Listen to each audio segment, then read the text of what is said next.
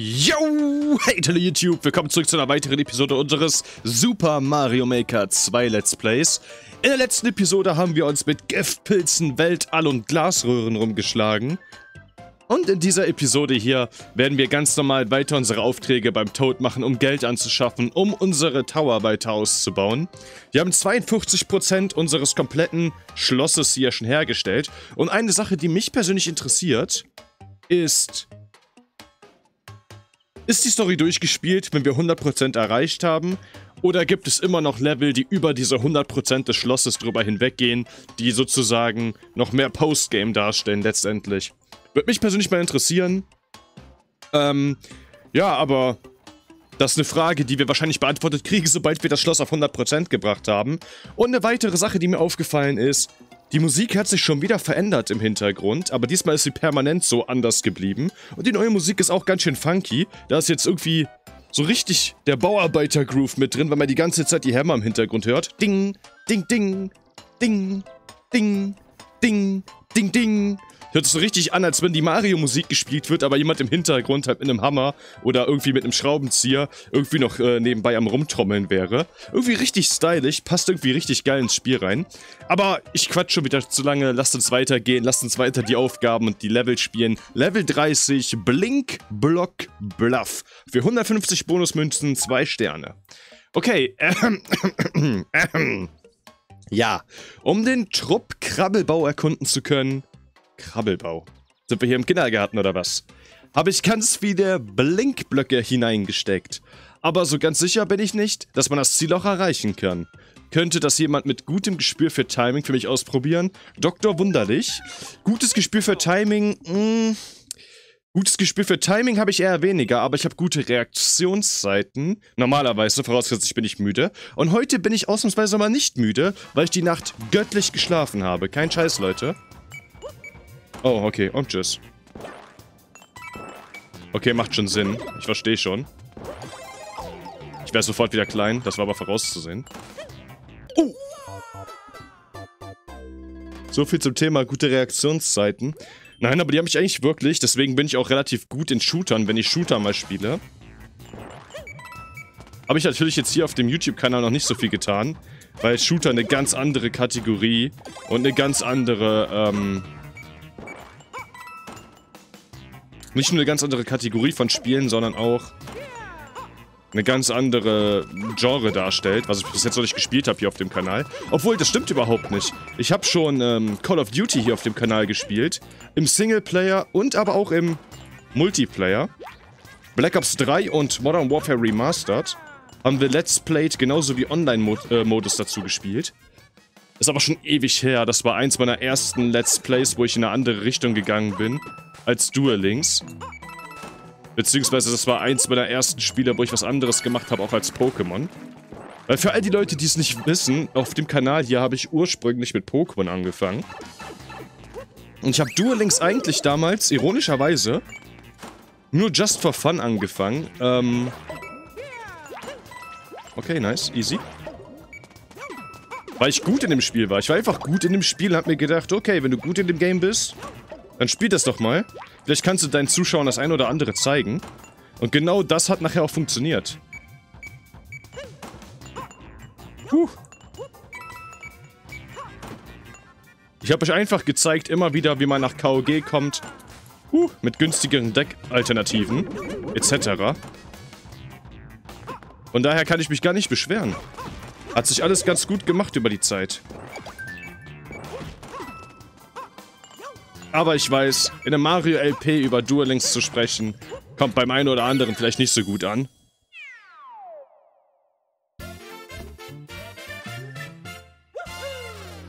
Ja, aber wir haben schon ziemlich vieles hier auf dem Kanal gespielt. Mario, Zelda, Pokémon, Duel Links, sogar Call of Duty. Wobei das einzige Shooter-Spiel, was ich zurzeit spiele und wo ich potenzielles Interesse hätte, das auf YouTube zu spielen, ist Apex Legends, weil es halt einfach ein geiles Game ist. Aber selbst da habe ich irgendwie nicht die Motivation, zu dem Spiel Videos aufzunehmen. Ich spiele das Spiel für mich persönlich zwischendurch mit meinen Kumpels, aber nicht irgendwie, um damit Content zu erstellen oder so, wenn ich ehrlich bin. Ich bleib lieber auf einer Nintendo slash Story slash LP Schiene, was neue Spiele betrifft. Und ansonsten bleibe ich lieber auf der Guide- und Informationsvideoschiene, was sowas wie Duel Links zum Beispiel betrifft. Im Tal der Winde, nächste Aufgabe, 150 Münzen, 2 Sterne Schwierigkeit. Nachts steht uns ein sternklarer Himmel bevor. Es werden jedoch starke Winde aus westlicher Richtung erwartet und aus östlicher Richtung auch. Der Wetterdienst empfiehlt schnell, den Heimweg anzutreten. Von der Meteorologin. Hm. Dann wollen wir doch mal. Dann wollen wir doch mal. Let's go. Irgendwie bin ich heute richtig hyped aufzunehmen. Ich weiß auch nicht warum. Ich habe heute richtig Motivation und so. Okay, wir kriegen Gegenwind. Macht Sinn. Und der wird sich wahrscheinlich abwechseln die ganze Zeit von beiden Richtungen. Sodass wir mal beschleunigt werden und mal verlangsamt werden. Und dann müssen wir uns damit halt durch das Level bewegen. Ohne in Gegner rein zu crashen und so eine Scheiße. Badam, badam. Das ist ein ziemlich cooles Level-Konzept. Ähm, aber gleichzeitig kann das auch in die Hose gehen. Also jetzt nicht als Leveldesign, sondern für mich persönlich beim Spielen. Weil ich einfach nicht wirklich gut bin in solchen Leveln. Weil ich immer Probleme damit habe, wenn ich nicht in meinem äh, standardmäßigen Speed unterwegs bin, einzuschätzen, wie schnell ich jetzt wirklich bin. Und wenn ich nicht einschätzen kann, wie schnell ich wirklich bin, dann verspringe ich mich manchmal. Damn. Weg mit euch, ihr stört. Oh, der will bestimmt hier gleich rumjumpen. Du bist dead. Oh nee, du bist nicht dead. Oh, Hilfe! Zweimal getroffen. Ein Leben hat er noch. Yes, jetzt haben wir dich. Nice, wir haben auch den Key. Lass mich da runter. Wind, lass mich da runter. Wir haben den Key für was auch immer wir den brauchen sollten. Ah, ich glaube, der war nur nice to have, der war nicht wichtig. So können wir da unten ein paar mehr Münzen sammeln, was ganz geil ist. Ich beschwere mich darüber auf gar keinen Fall. Gab gerade mal so ungefähr 20 Münzen, würde ich, be oh, würd ich behaupten. Und nochmal 10 Bonusmünzen, wir oben... Was ist das hier eigentlich? Das ist ja keine Fahnenstange, das ist eher so ein, so ein typisches Ziel, wo man durchläuft, so wie beim Marathonlaufen oder was das da war, Sprintlaufen. Wie auch immer, ich habe keine Ahnung von Sport. Ich meine, ich bin Videospiele-Spieler, ich bin Gamer, ich sitze zu Hause den ganzen Tag und spiele Videospiele. Ihr wisst doch, wie es läuft auf YouTube. Wir sind alle gleich wie YouTuber. Spaß beiseite. Nein, Spaß. Als wenn ich alle über einen Kampf scheren würde. Ich habe keinen Plan. Außerdem habe ich gerade dick Scheiße gelabert. Aber irgendwie gehört das dazu, Mann. Nee, aber jetzt mal im Ernst. Ich habe keine Ahnung von, äh, von, ähm, Sport, in dem es um darum geht, zu laufen oder so. Aber rennen die nicht am Ende immer durch so ein Ziel durch, wo so ein Bändchen zwischen zwei Stangen ist und die rennen einfach durch das Bändchen durch? Und dann haben die gewonnen, wenn sie Erster sind. Oder war das beim Fahrradsport auch sowas in der Art, wo die am Ende durch so ein Band durchfahren, was halt ganz leicht kaputt zu reißen ist. So nach dem Prinzip stelle ich mir diese Mario-Ziele vor, wenn ich ehrlich bin. 45% auf unserem Schloss. Ich habe das Gefühl, wenn es wirklich nach dem Schlossprozenten geht, und deswegen habe ich das auch am Anfang des Levels, an, äh, am Anfang der Episode, Entschuldigung, angesprochen, dass ich denke, dass wir fast 50% des Spieles schon gespielt haben. Was ziemlich geil ist. Aber auf die andere Art auch schade, wenn 100% wirklich dann Ende ist, weil dann sind wir ziemlich schnell durch die Story durch. Zumindest kommt es mir so vor. Aber wir sind schon bei Level 32 und wir wissen ja, das Spiel soll 100 Level angeblich haben. Hm. Die schreckliche Wippenfestung. 200 Münzen. Aus dieser Festung gibt es keinen Kommen. Um die Wippen richtig auszunutzen zu können oder richtig ausnutzen zu können, muss man schon etwas mehr K äh, Kampfgewicht auf die Waage bringen als Mario. Dieser Wicht. Papa von Anonym. Ich habe immer Gedanken zwischen den Episoden darüber gemacht, wer Papa von Anonym sein könnte. Und wisst ihr, an wen ich da denke? Bowser. Erstens sagt er ja immer, er lacht immer so böse, wie Bowser auch immer lacht, auch in Mario Odyssey und so. Entschuldigung. Und er ist der Papa von Bowser Jr. Und gleichzeitig will er anonym bleiben und ist auch der Papa von dem anonymen Bowser Jr. in dem Sinne, weil er nicht darauf aufmerksam machen möchte, dass er die ganze Zeit Mario halt eins dran kriegen möchte. Also ich glaube echt, der Papa von dem anonymen Bowser Jr. ist Bowser, also sind diese Level hier von Bowser. Okay, genug äh, darüber philosophiert, wer derjenige sein könnte. Aber ich glaube, dass ich damit relativ richtig liege. Ihr könnt mich ja mal in den Comments wissen lassen, was ihr denkt. Ob ich damit richtig liege oder ob ich keinen Plan habe. Ich meine, ich habe oft keinen Plan, aber... Diesmal habe ich das Gefühl, den Plan zu haben. Mal ein paar Bonusmünzen mit. Kann nicht schaden, meiner Meinung nach. Vielleicht ist hier ein Power-Up, wäre geil. Uh. Die Musik wird ganz funky, wenn ich das mache. Irgendwie ist das dope, aber auf die andere auch verwirrend. Ey, hier oben sind Münzen, nice. Bam, bam, bam. Die Musik in dem Level ist cool. Aber die kommt mir so unbekannt. Von welchem Mario-Spiel gab es die? In dem hier? Man muss ja so sein, es ist ja ein Level extra von der Engine. Aber trotzdem. Ding dong! Dramatic Effect. Nochmal Dramatic Effect. Nochmal Dramatic Effect. Ich muss mir unbedingt so ein Template für den Effekt zu... Oh, ist das ein riesiges Level mit viel Bullshit. Jetzt, wo ich gerade so daran vorbeigleite. Oh, wenn ich da jetzt überall durch muss. Oh mein Gott, ich brauche auf jeden Fall ein Power-Up. Zumindest haben wir Checkpoint gekriegt.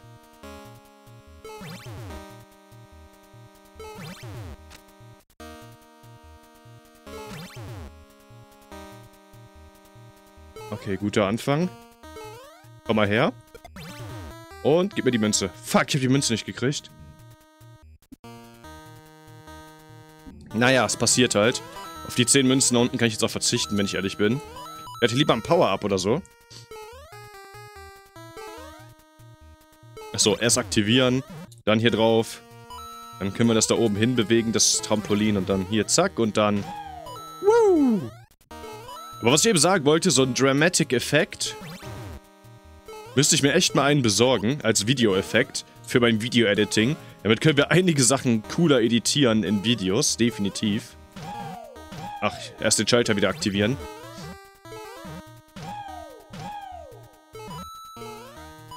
Das ist dieser typische, oh mein Gott, irgendwas passiert Anime-Effekt.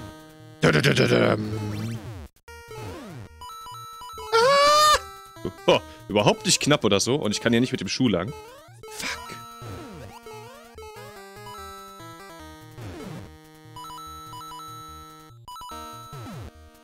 Was war das? Oh, ich sehe schon, was wir machen müssen. Glaube ich. Oh, warte, warte, warte. Huh. Wollte gerade sagen. Warte, was müssen wir tun?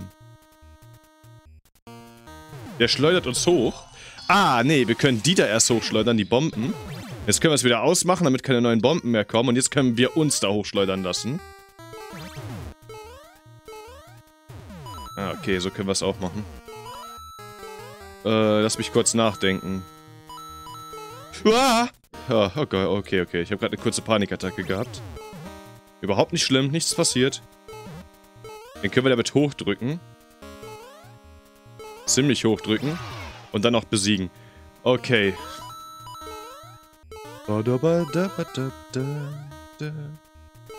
Was passiert hier? Power up?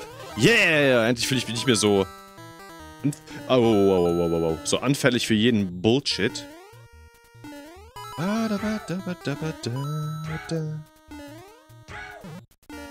Mario Maker macht irgendwie alles komische Geräusche, sind wir mal ganz ehrlich. Ich meine, ich finde es auf die eine Art... Was bist du denn? Es gibt so viele Bonus-Icons und so, die ich noch nie gesehen habe. Auf die eine Art finde ich das ziemlich geil, dass es so vieles Bonusgeräusche macht, aber auf die andere Art ist es auch ein bisschen verwirrend, weil man die ganzen Sachen aus den Original-Mario-Spielen mehr oder weniger nicht kennt. Oh Mann, den kann ich nur so besiegen. Wie komme ich denn da jetzt hoch? Hier brauche ich doch irgendein Item oder so.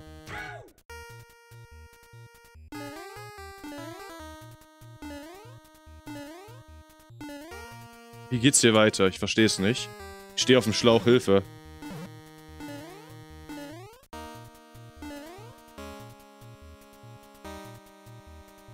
Hier komme ich nicht mehr runter. Fuck.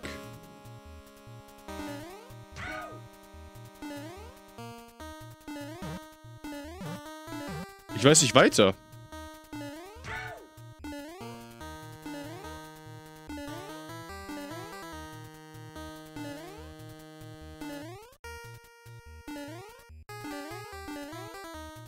Wie soll ich da hochkommen? Ich habe keinen Plan. Ich bin komplett verwirrt. Kann ich die vielleicht mitnehmen? Nö.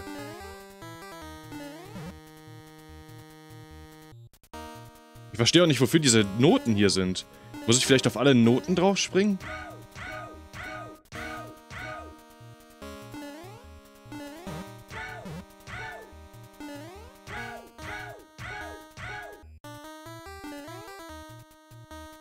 Ich glaube, ich bin einfach zu blöd hierfür.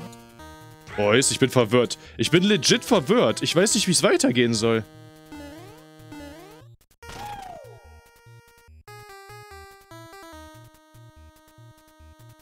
Oh, jetzt weiß ich wie. Ich weiß wie. Oh mein Gott, das ist so gemein. Ich glaube, ich weiß wie.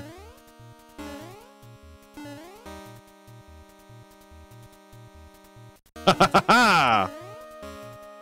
Jetzt muss ich mich hier auf, den, auf das Hinterstück stellen. Dafür sind auch die Blöcke da. Und jetzt boing. Wieder aufs hintere Stück stellen. Nein! Uh, fuck my life. Okay, das ist jetzt nicht allzu schlimm. Hoffentlich geht er erst in die andere Richtung gleich. Ich hab Schiss, dass er nicht in die andere Richtung geht, sondern zu mir. Ja, das sagte ich mir, du Arsch. So, geh weiter. Jump da hoch, perfekt. Und jetzt Yes! Okay. Uh, sicker Effekt. Okay, es hat gerade echt ein bisschen gedauert, da hatte ich den heftigen Brainfart, weil ich echt nicht darüber nachgedacht habe, dass man Event... Fuck my life. Gut, dann kriege ich halt das Ding da nicht. Weil ich nicht darüber nachgedacht habe, dass ich echt den Gegner darüber luren muss, den ganzen Weg darüber locken muss, um ihn als Sprungbrett auszunutzen. Darüber habe ich echt nicht nachgedacht. Okay, da oben ist anscheinend nichts mehr. Fuck it.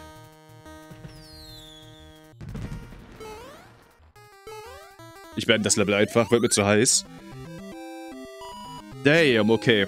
Hat ein bisschen gedauert gerade. Da war meine Gehirnzellen nicht auf dem höchsten und neuesten Stand. Aber ich wusste, irgendwas mit den Notenblöcken musste ich machen. Ey. Hätte ich da mal früher drüber nachgedacht, den Gegner drüber zu locken. Hm. Aber nice. Jetzt haben wir dadurch den Ostflügel auf dem ersten Obergeschoss fertiggestellt. Dope. Und was ich weiß ist, wir haben jetzt relativ günstige Sachen zum Upgraden vom Preis her. Das heißt, wir können zwei Sachen gleichzeitig anfangen. Wo soll es weitergehen? Genau, wir haben jetzt hier 500 für die Tore und für die Kanone 700 each. Wir haben 1000, das heißt, wir machen beide Tore.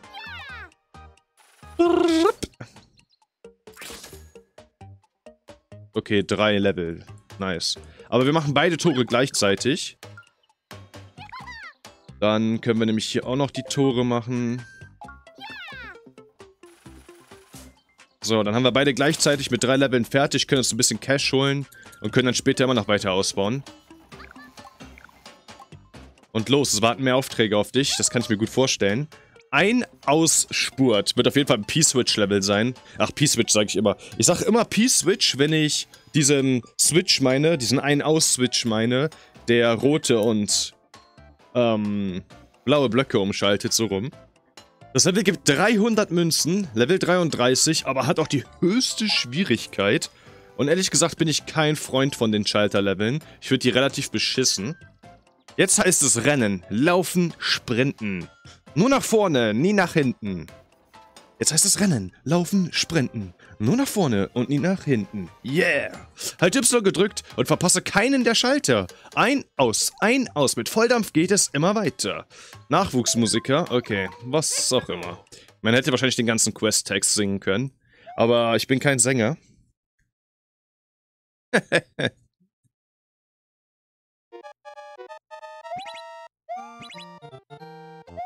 Fuck, das läuft auf Zeit.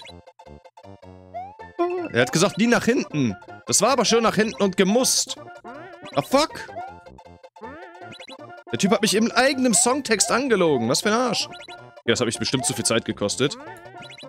Ah, vielleicht doch nicht. Uh. Uh. Yeah. Noch eine Sekunde.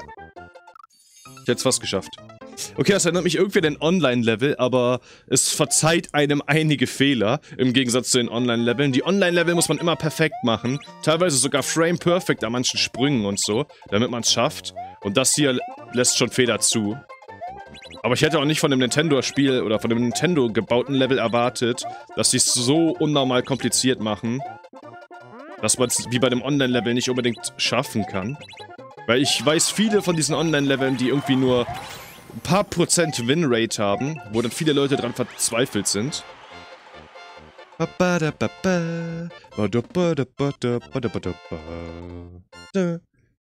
Und die Online-Level habe ich aber teilweise auch schon gespielt, von daher, und auch geschafft.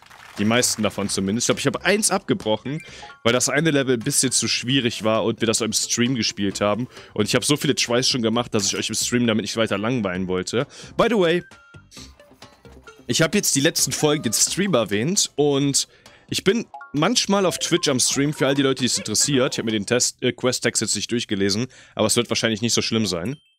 Äh, Rückprallring Lift ins Nirgendwo. Okay, macht, macht Sinn. Keine Ahnung. Ja, okay, macht Sinn, nachdem ich es jetzt auch schon gesehen habe. Aber ja, wir sind manchmal auf Twitch aktiv. Eigentlich so gut wie jeden zweiten Tag, würde ich behaupten. Manchmal täglich, manchmal ein, zwei, dreimal die Woche. Was laber ich? Das hat gerade gar keinen Sinn ergeben, ich war abgelenkt. Manchmal täglich, manchmal jeden zweiten oder dritten Tag. Je nachdem, wie ich wirklich Zeit finde aufgrund meines Real-Life-Jobs. Ihr wisst, wie es läuft, äh, Boys. Aber... Wir spielen da auch Mario Maker unter anderem in Online-Leveln. Und äh, ja, falls ihr Bock habt, mal eventuell im Stream vorbeizusehen. Oh fuck, wir haben dadurch unseren Helm verloren, das ist nicht gut. Mann, ich kann gerade echt nicht quatschen. Werbung für meinen Stream machen und mich auf das Level konzentrieren gleichzeitig. Bin irgendwie gerade nicht multitaskingfähig. Yikes. Was ich sagen wollte ist, wenn ihr mal im Stream vorbeischauen wollt, zusätzlich zum Let's Play, wo wir ein paar Online-Level momentan spielen. Ich meine, Online-Level werden wir später auch auf YouTube bringen. Oh fuck, das ist Ziel. Okay, rein ins Ziel. Scheiß drauf. Yes. Da könnt ihr auf jeden Fall mal auf twitch.tv slash gameplays vorbeischauen. Ist unten noch in der Videobeschreibung verlinkt. Könnt mir da ein Follow dalassen und äh, ja, wir sind auf Twitch gepartnert worden als Affiliate vor kurzem. Was bedeutet, ihr könnt mich theoretisch auch auf Twitch unterstützen, wenn ihr da Bock drauf hättet. Und auf einmal haben wir 54%. Wir machen echt guten Progress. Meister des Bauklempner. Baukletterns? Baumkletterns. Ich habe Bau, Bauklempner irgendwie sowas gelesen. Baumkletterns. In diesem Level habe ich Bäume gepflanzt, aber ich traue mich nicht, ihn zu spielen. What the fuck? Also könnte jemand anders das übernehmen? Derjenige müsste aber bitte auf dem Weg zum Ziel alle fünf Bäume, auf alle fünf Bäume klettern. Level 1 Dungeon? Schwierigkeit meine ich? Fünf Bäume? Von ängstlicher Junge? Wir haben doch schon mal ein anderes Baumlevel gemacht, wo wir auf zwölf Bäume klettern sollten. Und das war einiges schwerer. Warum sind manche Level zwischendurch irgendwie total simpel und dann wieder welche total schwer? Macht irgendwie nicht viel Sinn. Ah, ich sehe schon.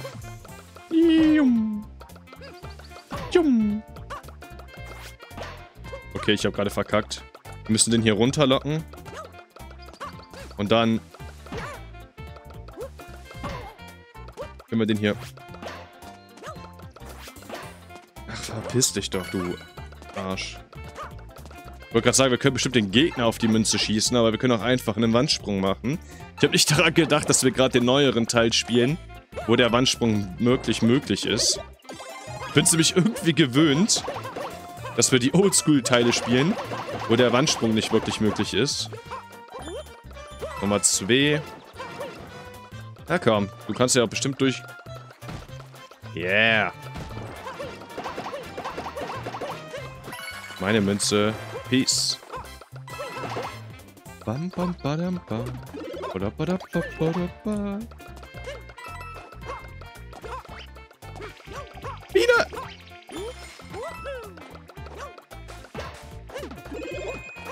Mario. Hudson Mario.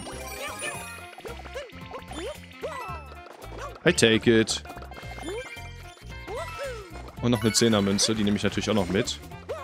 Okay, wir haben alle fünf Bäume, dann können wir jetzt ins Ziel.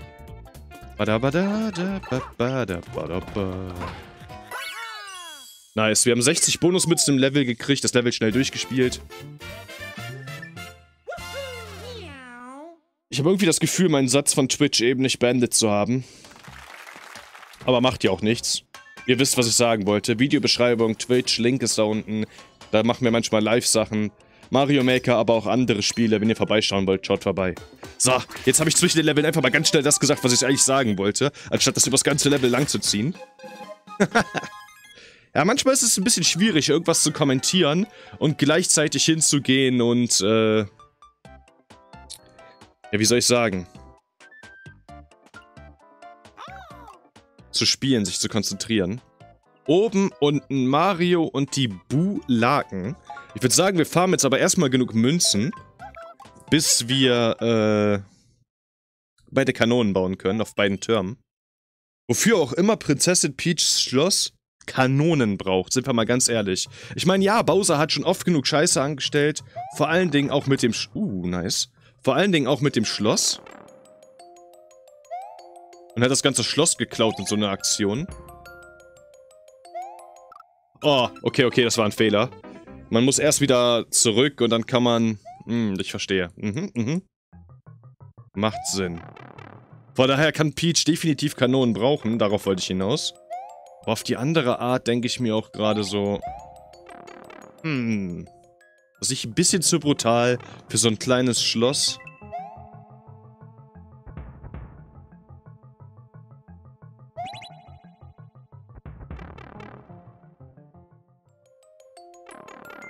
Braucht sie wirklich Kanonen, um Bowser zu besiegen?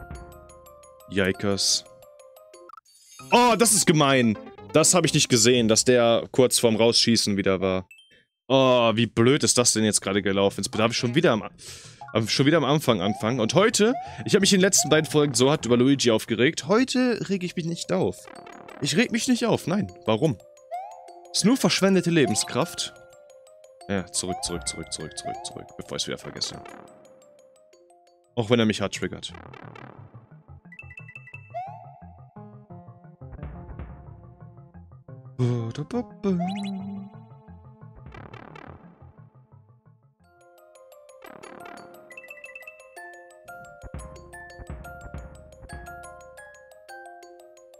Und sind wir durch. Nice. Ba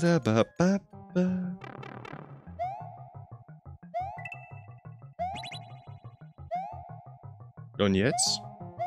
Ah ja, durch die Röhre und dann den Schalter von der anderen Seite betätigen. Okay, das macht Sinn. Weil dann können wir hier lang laufen und kommen hier durch.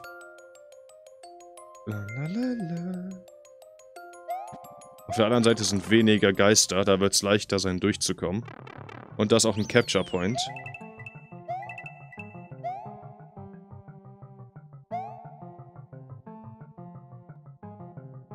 Holy shit, was geht hier ab?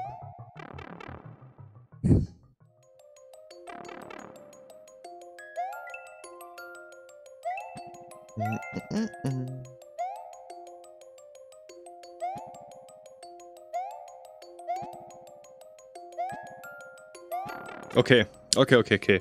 Ich muss mich bei dem Level ehrlich gesagt sehr konzentrieren, Leute, weil das Level ist nicht super einfach. Ich finde die Level, die auf dem Kopf sind, sowieso relativ äh, kompliziert, weil man ja immer die Steuerung umdenken muss. Die Steuerung ist ja immer auf dem Kopf dann. Ist nicht ganz so meine Stärke, gebe ich auch gerne zu. Oh ne, ich habe Schiss, die Münze zu holen. Lassen wir das. Und hier ist eine Türe. Okay, okay, okay. Gib mir ein Power-Up. Gib mir ein Power-Up. Bitte? Warte, was muss ich machen? So.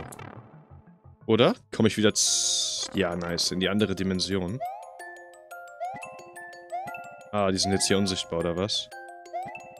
Manchmal sieht man Sachen in den anderen Dimensionen nicht, wie wir gerade schon gesehen haben. Zum Beispiel die Zehnermünze und so war ja auch verschwunden. Okay. Okay, Gott sei Dank ist das Level vorbei. Puh, okay, das Level war jetzt nicht super schwer, aber ich musste mich schon ein bisschen konzentrieren. Also, hm. Und das war, glaube ich, nur ein Zwei-Sterne-Level oder so. Ich fand das jetzt für ein Zwei-Sterne-Level schon ziemlich hart. Muss ich ehrlich zugeben. Da waren die ganzen Level vorher, die wir gemacht haben, mit höheren Sternen, einiges leichter. Festung der Todeswippen. Drei Sterne. Anonym. Ich wollte es wie Papa machen und habe ein Verlies des Todes gebaut. Aber ob er wirklich was taugt? Ich würde gerne eine Testperson anheuern, die mal alles von vorne bis hinten ausprobiert. Als erster ins Ziel kommt, wer als erster ins Ziel kommt, kriegt auch Taschengeld von dieser Woche. Von Anonym. Das heißt, das ist eine Mission von Bowser, äh, von Bowser Jr. selber. Dann wollen wir mal. Festung der Todeswippen. Vorausgesetzt, meine Theorie stimmt. Heißt, wir kriegen einen Pilz. Sweet. Bom, bom. Oh, ich verstehe schon. Das ist nicht nur ein Ding, was fährt, sondern was gleichzeitig auch wippt. Macht Sinn. Bam, bam, bam, bam, bam. Oh, ich hätte mich ein bisschen bewegen sollen. Das war nicht so geil.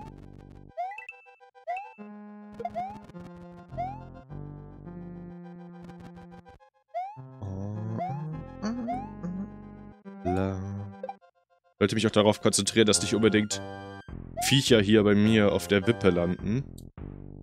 Das wäre ein bisschen problematisch. Save Point. Und Röhre. Und ein Power-Up. Yes, sir.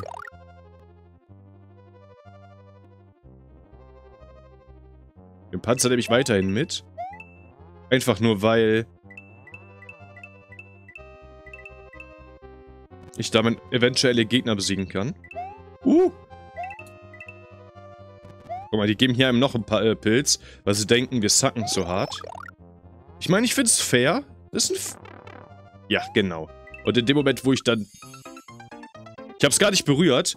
Ich habe gar nicht den zweiten Spike da berührt. What the fuck? Und in dem Moment, wo ich wieder Bullshit laber, werde ich wieder vom Spiel gefickt. Immer das gleiche, Mann. Ich sollte echt den Mund halten. Unglaublich. nee, aber worauf ich hinaus wollte ist... In manchen Leveln kriegt man echt null Power-Ups und das Level ist deswegen super schwer. Nicht, weil das Level von Haus aus schwer ist, sondern einfach, weil man null Power-Ups... Fuck off. Weil man null Power-Ups bekommt. Und in manchen Leveln, die eigentlich relativ simpel aufgebaut sind, bekommt man mehrere Power-Ups und die machen die Level dann schon fast zu einfach. Mist. Bin zu hoch gesprungen. Ich habe eigentlich nur versucht, einen Weak Jump zu machen, so einen halben Sprung. So einen Short Hop, wie man in Smash sagen würde. Um, ähm...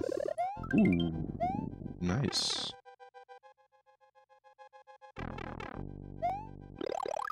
um das Ding wieder auszugleichen, um mittig zu landen. Aber das ging nicht so ganz. Ich würde hier easy durchkommen, wenn ich nicht so gierig wäre, die Münzen mitzunehmen. Meine Gier nach den Münzen, die ich die ganze Zeit versuche unterwegs mitzunehmen, um schneller Münzen zu farmen, ist der Grund, warum ich getroffen werde. Und ich weiß, dass das der Grund dafür ist. Und trotzdem mache ich es die ganze Zeit.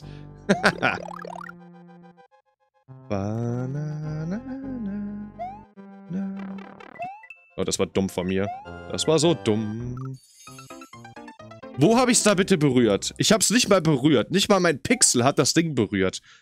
Aber ich habe auch schon gehört von äh, anderen Streamern und YouTubern, weil ich habe ja auch bei anderen mal reingeschaut, logischerweise. Zumindest bei denen, die Online-Kurses machen. Die haben auch schon so Level gespielt mit so Spikes und die haben alle gesagt, die Hitbox der Spikes wurde erhöht im Vergleich zum ersten Teil. Ich habe den ersten Mario Maker Teil nicht gespielt, das heißt, ich habe keinen Vergleich. Aber wenn die schon sagen, die Hitbox wurde erhöht und man wird schneller getroffen und es sieht manchmal so, äh, so aus, als wenn man die Spikes gar nicht berührt hätte, aber man stirbt daran trotzdem, dann wird da wohl was Wahres dran sein. Ich meine, das sind professionelle Mario Maker Spieler. Oh mein Gott, ich muss unbedingt hier an der Stelle groß sein. Da ist sofort der nächste Save Point. Ich muss einfach nur groß sein, da durchlaufen und ich sollte mir vielleicht das Leben hier mal holen. Weil dann kann ich nicht Game Over gehen, was wichtig wäre. Ich stelle mich aber auch dumm an gerade. Ja, aber selbst wie gesagt, andere Streamer und YouTuber haben auch gesagt, die Spikes haben eine riesige Hitbox und das ist absolut crazy, wie manche von denen getroffen werden. Da, zum Beispiel gerade. Ich habe das gar nicht auf meinem Bildschirm berührt und trotzdem hat es mich getroffen. WTF? Okay, das war meine Dummheit. Da will ich jetzt nicht drüber diskutieren. Das gebe ich ehrlich zu, das war meine Dummheit, kein Thema. Bei sowas kann ich das ja akzeptieren. Aber wenn ich einfach daran vorbeifahre und es nicht mal berühre, dann äh, tiltet einen das schon. Und ich weiß nicht, warum ich mich hier so dumm anstelle. So schwer ist der Scheiß hier ja wirklich nicht. Ich mach das jetzt. Das ist der Try, wo ich es jetzt einfach mache und dann kann ich sagen, easy, kein Thema. Ich glaube, das Schwierige hieran ist wirklich dieser Wippenpart. Und weil man nachher am zweiten Abschnitt, hier drüben gleich, gezwungen ist, nicht in der Mitte zu stehen, weil diese Dinger da, die zwingen einen dazu, einen bestimmten Winkel hier halt einzunehmen, zwischen den Teilen. Und dieser Winkel ist schwer zu treffen. Und jetzt muss man das Ding wieder etwas gerader machen. Ich sag doch, wenn ich mich konzentriere und das eins zu eins wirklich in meinem Kopf mit durchgehe und am besten, was ich tue, auch noch kommentiere, weil ich mir dann selbst in meinem eigenen Schädel helfe, in meinem eigenen Kopf helfe, dann ist der scheiß Piss easy. Oh fuck, jetzt habe ich einen scheiß Kettenhund hier mit drauf. Holy fuck. Aber dafür muss ich halt mich voll konzentrieren. Nice, der ist tot. Oder auch nicht. Der hat die Lava überlebt. Okay. Nice, dich killen wir. Dich killen wir und wir sind am Ende.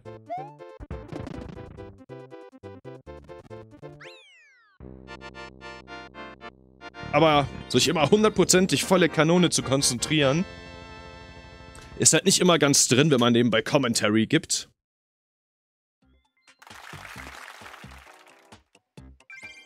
Korrekt, wir kriegen aber einen dicken Batzen Münzen.